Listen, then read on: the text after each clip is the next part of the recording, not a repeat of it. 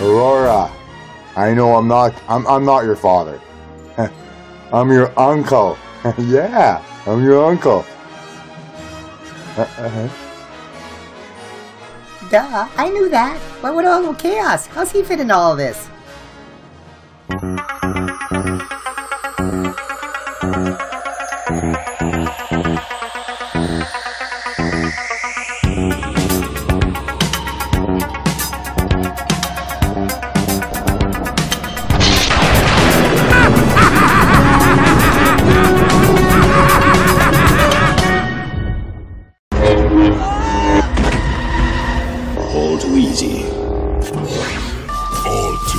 easy.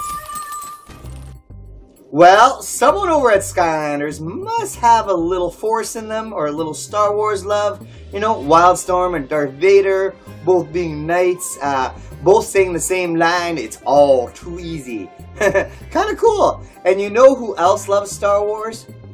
This guy. hey there guys, JAP28 here. How's it going everyone? Yeah, and if you watch my videos for any length of time, uh, I, I put a little Star Wars tidbits in some of my videos.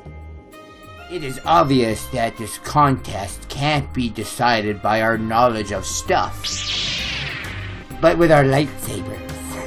Yeah, that is because I started collecting Star Wars first. That was my first love of collecting. I had tons of Star Wars stuff. Picture my Skylander collection and just switch it to Star Wars. And that's what it was. Now, unfortunately, I don't have any pictures. Uh, we didn't we didn't have this technology like with camera phones and stuff like that back in the day. We had physical, you know, cameras with film. So you'll have to take my word on it. Uh, but yeah, massive, massive Star Wars collection. And yeah, now let's talk a little bit about this new movie, The Last Jedi. Now, I'm not going to get into any spoilers, uh, but I just want to talk about it a little bit. Uh, now, I really, really love this movie.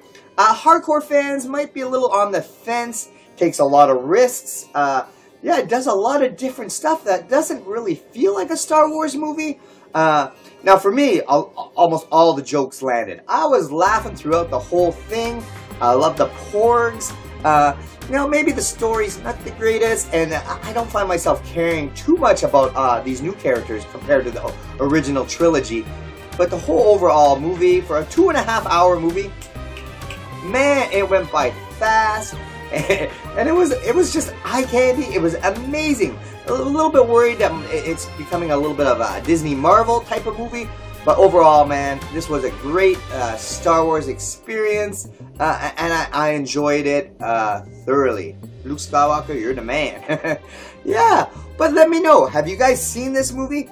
Leave some comments down below. Now, don't spoil anything for anyone, guys, in in the comments. But uh, give it a score, say out of ten. What would you give this movie? I'm gonna give it uh, an eight, an eight out of ten. I think that's a fair score. A really good movie. And if you have some time this holiday season, go check it out. All right. And that's about it for this short love letter to Star Wars with a little Skylanders thrown in the mix. Okay, and but I'll be back soon with another video. All right, guys. Later. May the force be with you. Later.